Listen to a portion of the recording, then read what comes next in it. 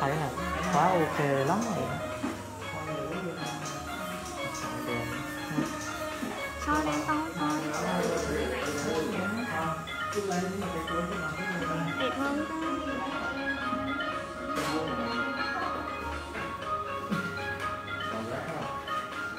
em há nó rồi em há nhẹ nhẹ rồi.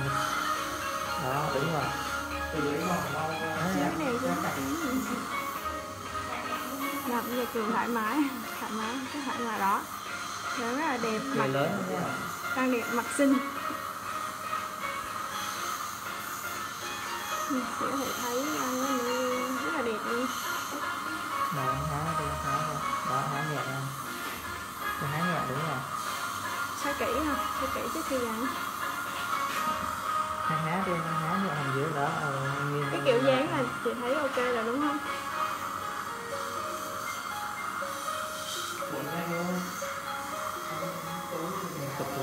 tấm dạ.